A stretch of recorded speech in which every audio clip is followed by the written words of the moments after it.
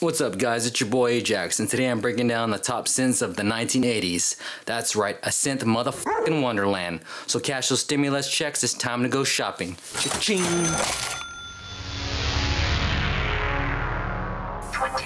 The Roland D50, Revenge of the Nerds. We've got Bush! The D50 is a tad cold, but perfect for working with effects work and film scores. The synth can create the longest evolving sustain that I've ever heard on any synth. If you're working on a sci-fi film or thrillers, the synth is just for you.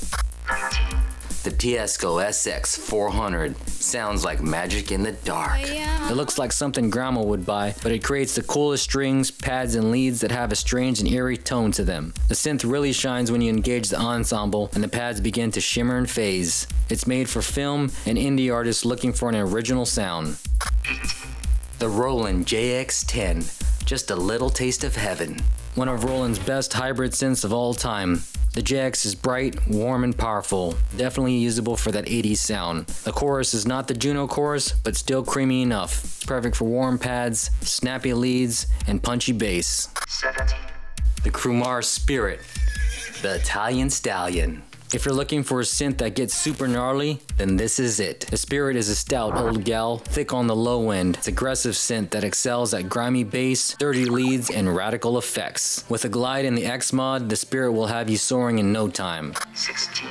The Emu Emulator 2 the floppy disk monster, the Ableton of the 1980s. No muss, no fuss sampler synthesizer. Pop in your floppy disk, go take a dump, and five minutes later, hear the board roar. That's right, with that fat filter, your pianos, drums, and vocals are immediately warmed up like a hot pocket the Oxford Oscar, the Swiss Army knife of the monosynths. The sound of the Oscar reminds me of Dave Smith's Mono Evolver, but fatter. It's laden with knobs that'll keep any tweaker on Adderall busy for days. The Oscar sounds aggressive and is full of sonic potential. With those 24 ways for sound sculpting and that fat filter, the synth is set apart from all other mono synths. 14. The Korg Monopoly, the thunder from down under one of Korg's fattest bass synths of all time. This little monster will get real mean when she's pushed hard. One of the best features of the Monopoly is the cross mod, which is the finest and thickest on any Korg ever. It shines at thunderous bass, punchy strings, weird effects, and aggressive leads. The Sequential Circuits Pro 1. She's nice and thick, huh? One of Dave Smith's beefiest mono synths ever. The Pro 1 has oscillators with girth. It cuts through the mix like a bad ex-girlfriend. It produces beefy bass lines, snappy leads, and nasty effects. With those 3340 chips that'll give you that cookie crunch.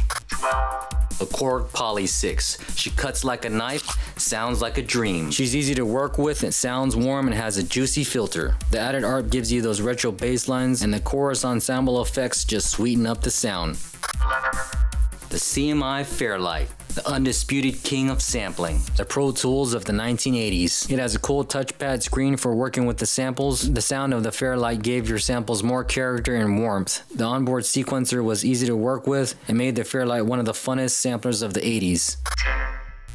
If you're wondering where's the beef, it's right freaking here the Roland Juno 106. The 106 has that big bottom and earth-shattering bass that'll blow your speakers wide open. It's not as bright as the Juno 60s, but with a MIDI, it's just as good. One of the best features of the 106 is the chorus effects, which makes pads and strings come to life. The 106 is reliable and a studio staple. It's perfect for beginners, indie, pop, and electronic artists.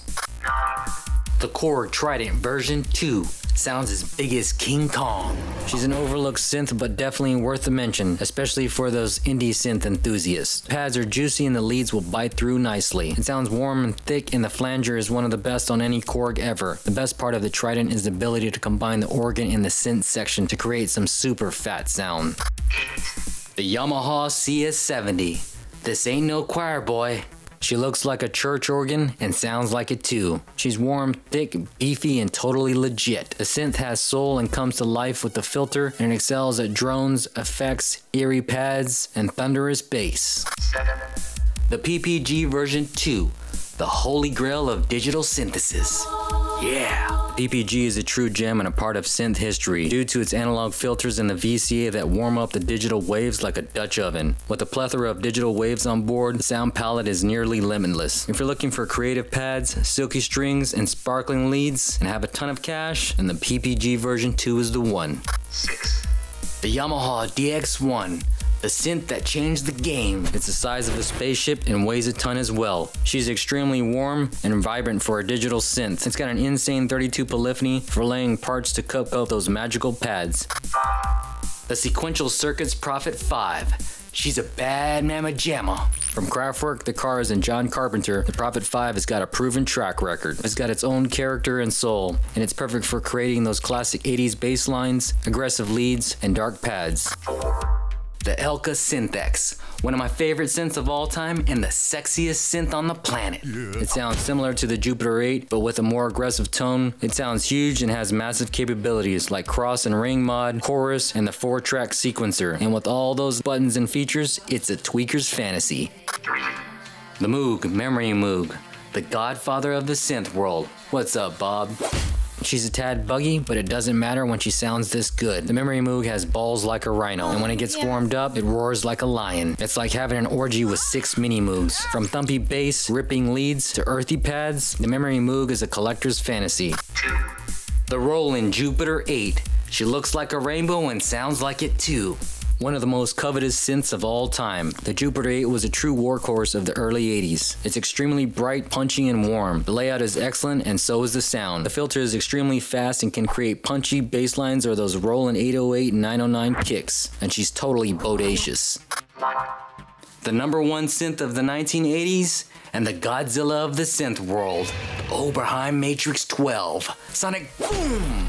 The Oberheim Matrix 12 has 12 analog voices that'll split your dick in two. Yup, that's right. It's one of the fattest polysynths on the planet. The oscillators are thick and the filter is pure butter. With the modulation matrix, the sonic potential is almost infinite, and it excels at monstrous bass, thick pads, glassy leads, and lustrous bells. But you're gonna have to wait for grandma's inheritance to buy this sucker. It's totally tubular. Thanks for watching and don't forget to subscribe. Hit the bell if you want to feel a tingle in the jingle.